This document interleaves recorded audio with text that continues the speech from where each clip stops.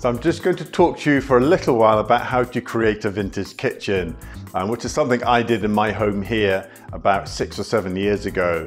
And we started off by just clearing all the old cupboards and all the old uh, kitchen cabinets out uh, to get a completely clear kitchen. And there was loads, lots of space when we started.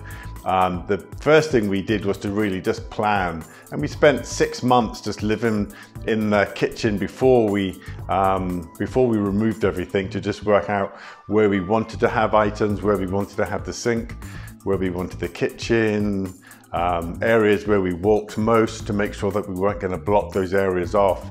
Uh, so once that planning was done, uh, we then decided uh, what we wanted to have in the kitchen. And the most important thing to have in the kitchen were the, were the cooker and then storage cupboards um, and then the table and the benches that we've got.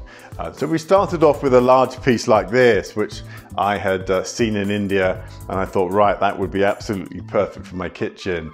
Um, but obviously it's not as tall as some cupboards that you might have in your kitchen and it's not absolutely packed with shelves and storage. Um, so what we decided to do um, as we wanted to go a little bit more higher was to have these small um, desks, these teak desks or these teak little chest of drawers on top. Um, it allows us to put smaller items and, and, and basically extend the storage.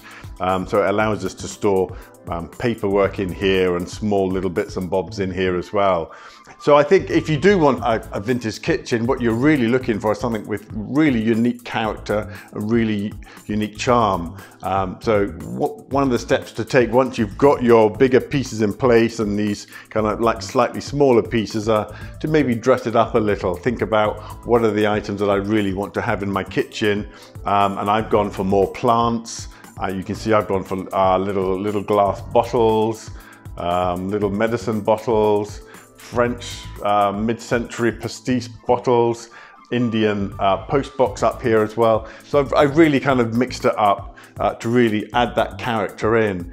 Um, and if you if you don't necessarily have a vintage kitchen or you have a, a uniform fitted kitchen, then it's, it's perhaps a little bit harder to really inject that character and really inject that charm into the kitchen. Although it's a kitchen and primarily for uh, preparing and, and eating food at the dinner table, you want to inject as much character to the room as well. We had some wall space um, after we had the kitchen set up um, and I spotted this again at one of our uh, dealers' places and it's an old cabinet in which someone's collected all sorts of aeronautical and aircraft history and aircraft parts and they, they've just displayed it really well in this case. So it's a real mix of collectibles, artwork drawn and made by the children at the kitchen table, as well as little storage cupboards and little cabinets over there.